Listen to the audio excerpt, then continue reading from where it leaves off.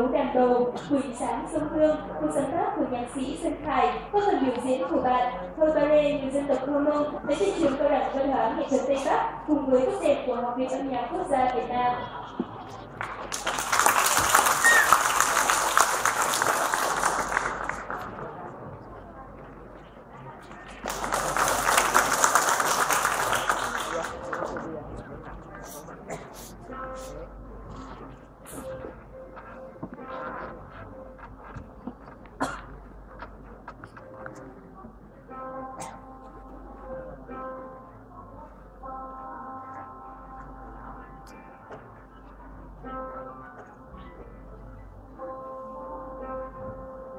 能听。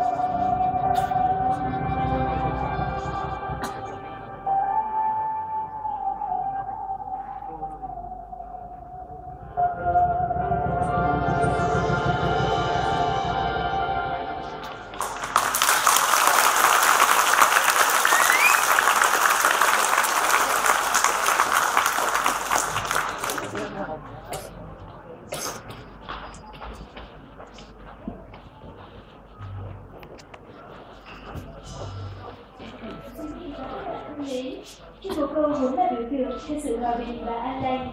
hành chim giải ra rộng cánh như báo hiệu cho sự tự do ấm no và hạnh phúc. Để tiếp nối chương trình, xin mời quý vị cùng thưởng thức hình sáo trong trẻo của bạn cùng công thơm đã đạt giải thưởng tại các cuộc thi quốc gia về đồng tấu và hòa tấu nhạc cụ truyền thống và tiết mục mang tên cánh chim tự do sáng tác bởi nhạc sĩ Tiến Vượng. Xin mời quý vị và các bạn cùng thưởng thức.